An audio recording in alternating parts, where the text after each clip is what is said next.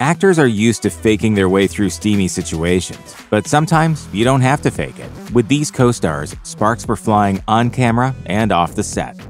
In the 1980s, NBC was known for family friendly hits like The Cosby Show, Gimme a Break, and Silver Spoons, and thanks to breakout star Michael J. Fox, Family Ties was ranked high among the network's top shows. The Canadian born actor played charming overachiever Alex P. Keaton, the oddball offspring of his ex hippie parents, Steven and Elyse. Alex's conservative morals never aligned with his liberal New England family, or the many women he dated in college. Among the string of actors to play Fox's on screen love interests in the series, Tracy Pollan's several season stint on the show proved to be life changing. As Ellen Reed, Pollan's character was initially turned off by Alex, However, in one iconic scene, the actors kissed while dancing to Billy Vera's bittersweet song At This Moment. The song became a number one hit, and audiences wondered what would become of the obvious chemistry between Pollan and Fox.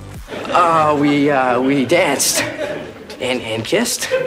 At the time, Pollan was in a relationship with Kevin Bacon, while Fox was tied to Facts of Life star Nancy McKeon. At the time, his career was also going off the charts, thanks to the hit movies Back to the Future and Teen Wolf. The actors reconnected in the gritty drama Bright Lights Big City and married a year later in 1988. They had their first child in 1989, and Fox was diagnosed with Parkinson's disease a few years later. Pollan has been by Fox's side through his struggles with the disease, and the couple has welcomed three more children throughout their marriage.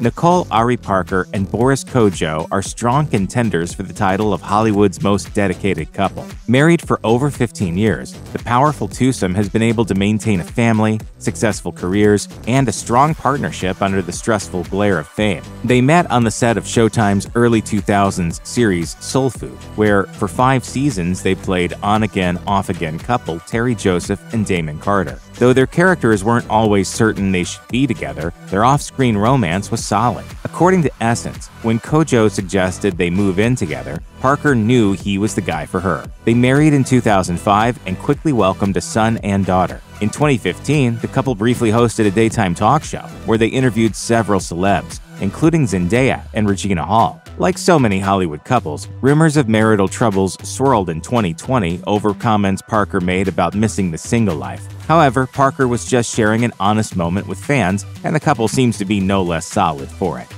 Both Kit Harington and Rose Leslie landed the biggest roles of their careers to date when they were cast on HBO's blockbuster fantasy epic Game of Thrones. Harington played Jon Snow, the illegitimate child of the royal house Stark. Leslie played Ygritte, one of the free folk who lived beyond the wall Jon defends as a member of the Night's Watch. The two found each other, and it wasn't long before romance and a selection of steamy scenes arose among the near constant war, darkness, ice, and fire the show is famous for. Jon and Ygritte meet when Jon and some rangers of the Night's Watch take her prisoner. Their love blooms over the course of the next season, but their relationship comes to a permanent end when Ygritte is killed in season 4. You know nothing, Snow. Meanwhile, Harington and Leslie began seeing each other off screen. According to People, they confirmed the rumors they were dating with a red carpet arrival at an English award ceremony in 2016 about three years after their initial on screen coupling aired. In 2017,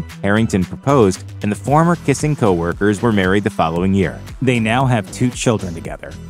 Over the original seven season run of the WB CW small town dramedy Gilmore Girls, Alexis Bledel's character Rory experiences three formative romances. The second of these relationships was with Jess Mariano, the rebellious new kid in town played by Milo Ventimiglia. As it turned out, of the three actors who played her love interests throughout the series, Ventimiglia would be the only one that Bledel would publicly date. While Rory and Jess's time together was passionate, it was also spotty. However, this was not the case for the real relationship that bloomed between the young actors. According to Us Weekly, the coupling began in 2002, right around the time that Ventimiglia joined the cast of Gilmore Girls. However, the duo ultimately split in 2006, not long after Ventimiglia left the show. Years before the Deadpool movies made him a beloved action hero and comic star, Ryan Reynolds' big superhero turn was supposed to be Green Lantern. A big screen jaunt for the interstellar DC Comics character, Green Lantern didn't do particularly well in theaters when it came out in summer 2011. The film earned dismal critical reviews and ultimately kept Reynolds from ascending to the A-list for a few more years. The silver lining to this botched superhero movie's production was that Reynolds met his future wife, Blake Lively, on set. In the midst of a star-making turn on the popular teen soap Gossip Girl, Lively landed the role of Carol Ferris, the hero's love interest. Their scenes together, which included plenty of kissing, were surprisingly intimate for an effects-heavy comic book movie. For this reason, it's not too shocking that these two actors later connected off the set. According to Glamour, shortly after filming, Reynolds divorced Scarlett Johansson and Lively broke up with her Gossip Girl co-star, Penn Badgley. In late 2011, photographers spotted Reynolds and Lively together, and they married in September of the following year. They now share four children.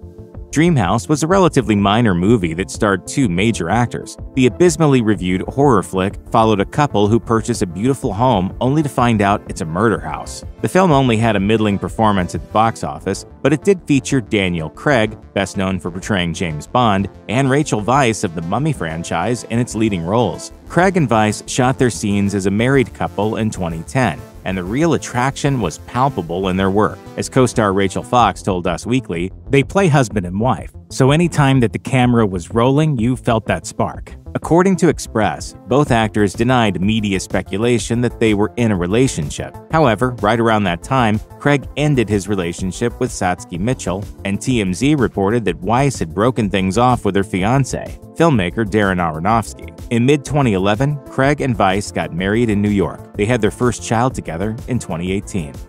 When it comes to on-set romances, few are as high-profile or combative as Brad Pitt and Angelina Jolie's. The pair reportedly fell for each other while filming the action romance Mr. and Mrs. Smith in 2004. At the time, Pitt was famously married to Jennifer Aniston, but that didn't seem to stop the Brangelina juggernaut from picking up speed. By 2005, Aniston and Pitt were divorced. A year later, Jolie announced that she was pregnant with Pitt's child, and the actor was already en route to becoming the adopted father of Jolie's children, Maddox and Zahara. Their daughter Shiloh was born in 2006, they adopted their son Pax in 2007, and twins Knox and Vivienne followed in 2008.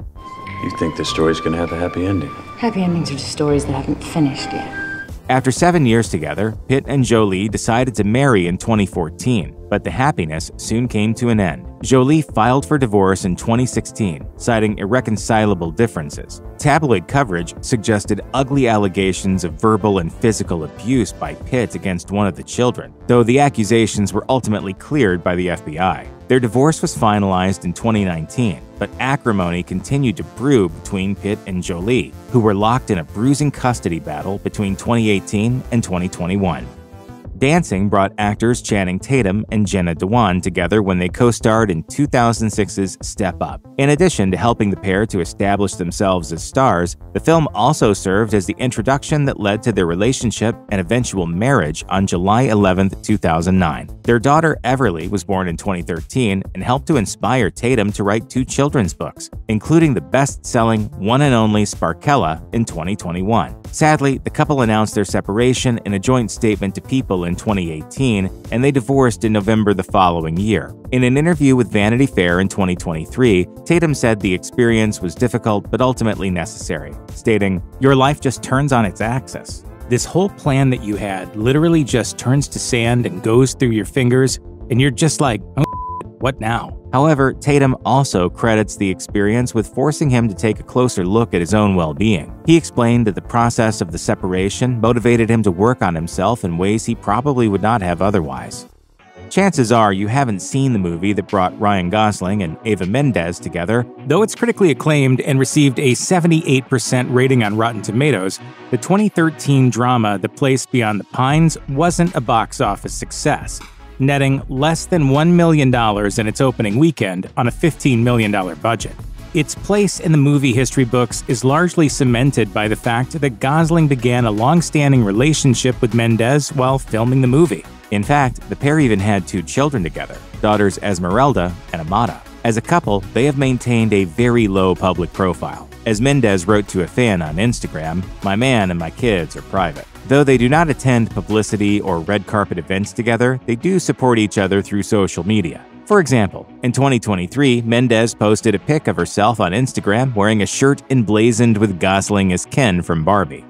The romance between Jennifer Lawrence and Nicholas Hoult lasted roughly the same amount of time as their tenures in the X Men movies. Hoult first played Hank McCoy, also known as Beast, opposite Lawrence's Mystique in 2011's X Men First Class. Before long, reports began appearing in the press suggesting the pair had become an item. They appeared to split briefly in 2013, but reunited in 2014, just in time to reprise their mutant roles in X Men Days of Future Past. And though the rekindled romance flamed out for a second and final time in 2015, they remained amicable both off screen and on. In the years since their separation, both Lawrence and Hoult have moved on to have children with other partners.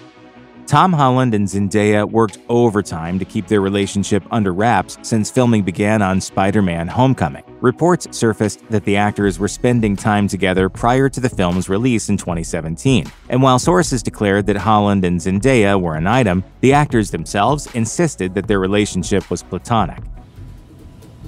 I'm not obsessed with him, just very observant. Media coverage slowly told a different story showing Holland and Zendaya attending events together and celebrating each other's birthdays in cute social media posts. And a photograph of the pair performing some PDA in 2021 killed the Just Friends storyline. Holland and Zendaya eventually owned up to their relationship in individual interviews in 2023. As Holland said on the Smartless podcast, I'm lucky that I have someone like Zendaya in my life. For her part, the actress praised her boyfriend's culinary skills in an interview with The Sun, claiming that he's a competent cook while she's a bit clumsier in the kitchen. The science fiction thriller series Manifest not only introduced actors Melissa Roxburgh and J.R. Ramirez to primetime TV audiences, it also served as the launching pad for their on and off romance. The pair began dating while playing detectives and former fiancés, Michaela Stone and Jared Vasquez in the series, which aired for three seasons on NBC and a fourth and final season on Netflix. The pair managed to keep their relationship under wraps for much of the show's tenure on NBC. Though Page Six printed an item in 2020 that quoted a source from the set who alleged that Roxburgh and Ramirez had been dating for approximately six months. However, shortly after Manifest debuted on Netflix in 2022, people showcased a slew of pics from their respective Instagram accounts that showed them getting very cozy on what appeared to be a vacation in Fiji. Their Manifest co star, Josh Dallas, clearly approved of their display, given the number of fire emojis he posted on the photos. Though Adam Brody and Leighton Meester's relationship blossomed after co starring in 2012's The Oranges, the TV vets actually knew each other for several years prior to filming. Both starred in series produced by Josh Schwartz, with Brody appearing on The OC and Meester co starring as Blair Waldorf on Gossip Girl. And it was actually Schwartz who introduced them. Through their producer, the pair met at Canter's, the famed Los Angeles deli. He found Meester attractive from the moment they met, but he was seeing someone else at the time. By 2013, Brody was single, and after meeting again, the pair quickly became a couple. They were married the following year and appeared together in the 2014 film Life Partners. Their daughter was born in 2015, and they had a son in 2020. In addition to their individual acting careers, the couple teamed up on screen again for an episode of Meester's ABC series Single Parents and in the 2023 thriller River Wild.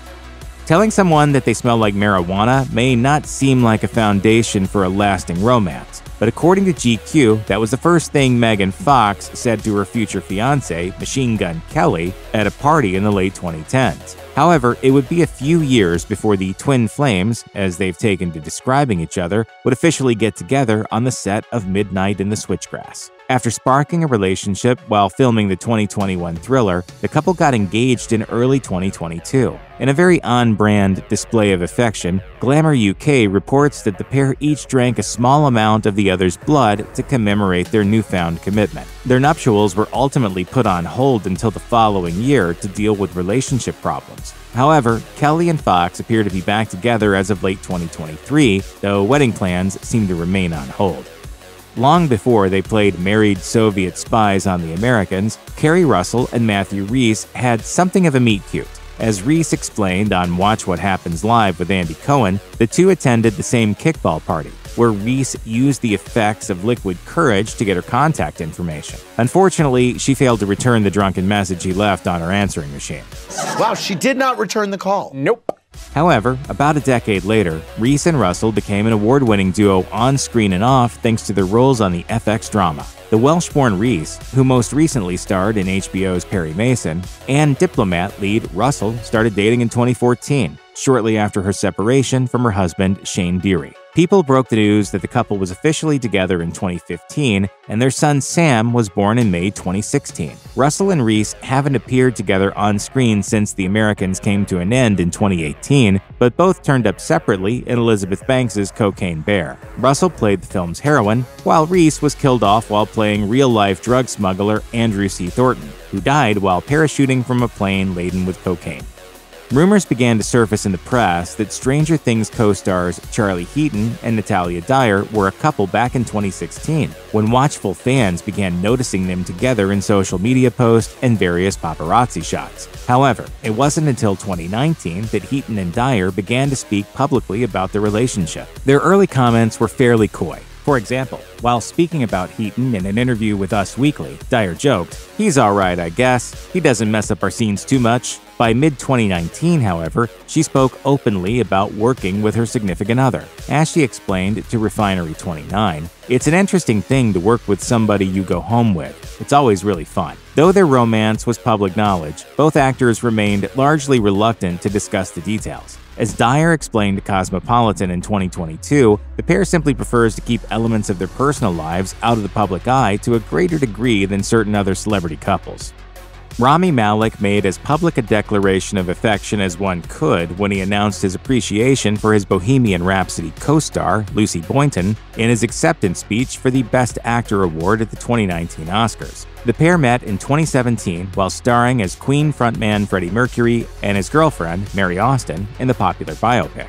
Shortly thereafter, they were seen together at various public events, including the numerous award shows that honored Malek's performance as Mercury. He made their relationship public at the 2019 Palm Springs International Film Festival, where he earned top acting honors for Bohemian Rhapsody. Malek addressed Boynton in his acceptance speech, saying, You have been my ally, my confidant. You are my love. The couple remained together well into 2020, making appearances at high profile events like the Oscars and Golden Globes, and at the 2022 premiere of Malek's film No Time to Die. However, their relationship must have come to a halt, for by the end of that year, Malek has been spotted with several other actors, including his No Time to Die co star, Léa Seydoux. Riverdale fans got giddy in 2018 when news broke that stars Camila Mendes and Charles Melton, who played residents Veronica and Reggie, respectively, appeared to be dating behind the scenes of the series. While the pair began to perform public displays of affection and attending events together, Mendes told LA Confidential in 2019 that she is cautious about discussing too many details of her relationship with Melton. As she explained, it's like, yeah, even though I feel comfortable talking about some things, do I really want to see it written over and over again? Sometimes it's not really worth it. The couple appeared to split shortly before their one year anniversary in 2019. However, some photos of them together in 2020 did circulate through the media.